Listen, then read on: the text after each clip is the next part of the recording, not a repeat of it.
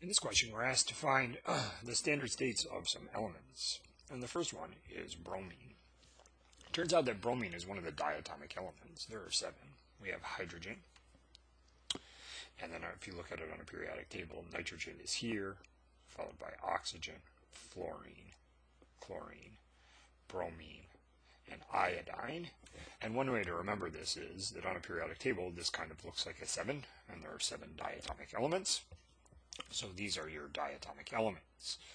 So bromine is Br2.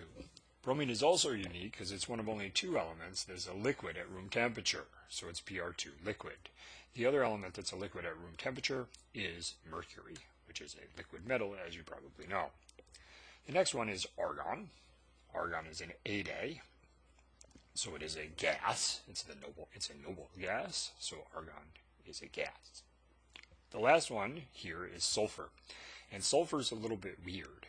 Sulfur actually forms in its standard state as S8.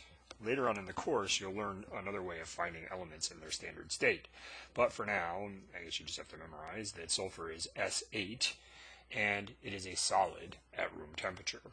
Another example of an element that has um, many different uh, atoms, or not many atoms, different atoms, but many atoms, is phosphorus, which is P4, which is also a solid. It's not asked here, but it is uh, um, available on some other uh, questions. So these are just elements in their standard states. If you do a Google search, you can actually find a periodic table uh, where it'll tell you the state of matter for the different elements. You also can find periodic tables that'll tell you about S8, P4, and the diatomics um, with a simple Google search, or of course, you can use your textbook.